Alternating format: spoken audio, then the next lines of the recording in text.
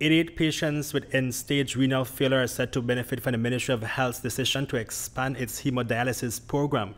Initially, two service providers, namely the KHMH and La Loma Luz Hospital out west, provided three dialysis treatment sessions weekly to 30 patients under the program, with the program being extended to 88 patients. Two other service providers have been brought on board, which are the Miguel Rosado Dialysis Center and Dialysis del Caribe. It's a big step. It's a big step, even though we won't be able to give the three dialysis, but definitely we will be providing from the 30, from the 30 patients, we will be able to increase it to 88 patients. This is really a serious situation, not only with, um, with kidney failure, but diabetes, which is one of the, the, the, the worst scenarios that brings you to this renal failure. And we need to be conscious of what we are doing. Under the new contract, patients will receive two dialysis treatment sessions weekly.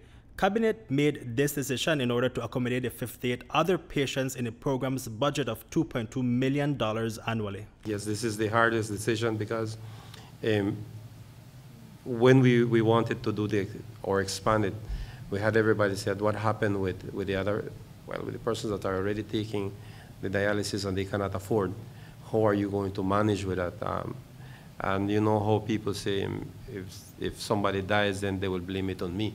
I'm saying, you know what, because the person didn't get the, the third dialysis, then it is your fault. It have to be on, on, your, on your conscience. But I mentioned also, well, what happened with the other 58 patients that are out there? And really, they, those patients, they have some that they cannot even pay one of them.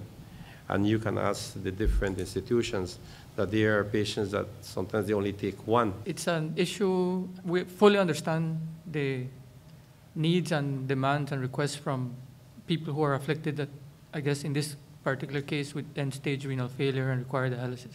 So I, we do understand that, that, that demand and that request. However, you need to understand, as the minister said, that there's a whole series of competing demands. So while it may seem like 1 million, 1.5 million is not, it's within the context of all the other requests and other needs that exist out there in the Ministry of Health. And as a, as a responsible ministry, we need to look at, for example, cancer care as well, which is another big issue, um, and, and other, other um, issues in, in, in the health sector. Um, right now, we would want to also invest quite a bit in terms of the preventive aspect. So if you add up all these, it, it 1.5 may look like a little bit, but it is a significant challenge, and um, I think we need to face it as a society um, with all the different partners to see how we can address those other issues. The KHMH and La Loma Luz Hospital are charging GOB $290 per dialysis session. The Miguel Rosado Dialysis Center and Dialysis del Caribe have settled for $210 per session. There are standards of care, and I think we need to stress that. Um, because one of the other questions um, that I think we have been asked is how comes Karl Heusner and Loma Luz may seem to be getting paid more for a particular session. But be, because it's tied into that, you, I mean, the investment has been done in training personnel both at Karl Heusner and at Loma Luz to try to scale up their quality care that they're given. Because it's a holistic approach that we are taking. It's not just a simple session you have more personnel at these two facilities than perhaps what you will have at the other two facilities. Um, we were able, because they were part of a government payment, to have a closer relationship with these two institutions than we had with other two private institutions.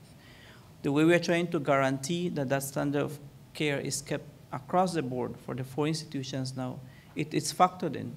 They are going to be paid on a monthly basis based on the amount of sessions we are going to be looking at specific indicators to talk about quality of life in terms of how many years they are surviving with, the particular care.